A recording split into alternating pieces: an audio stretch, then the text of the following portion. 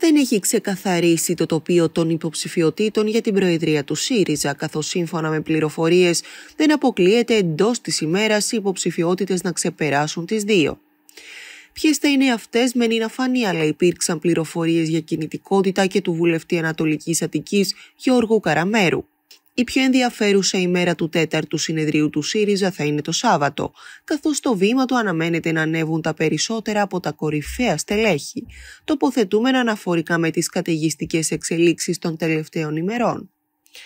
Αργά το απόγευμα εκτιμάται ότι θα ανέβει στο βήμα και η Όλγα Γεροβασίλη προκειμένου να ανακοινώσει επισήμως την υποψηφιότητά της για την Προεδρία του κόμματος.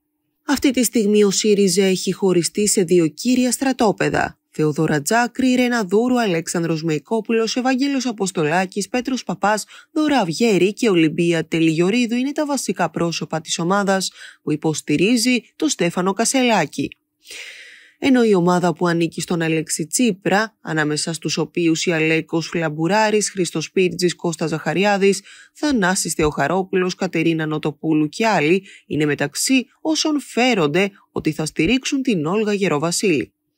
Καταλητικό ρόλος ωστόσο στα στελέχη φαίνεται πως ασκεί η βαρισίμαντη παρέμβαση του Αλέξη Τσίπρα, καθώς ο πρώην Πρωθυπουργός και Πρόεδρος του ΣΥΡΙΖΑ ασκεί επιρροή ακόμη και σε ενδιάμεσα στελέχη, που έτειναν προς την πλευρά Κασελάκη, ενώ κρίσιμη μεταβλητή αποτελεί η στάση του Νίκου Παπά και του Παύλου Πολάκη.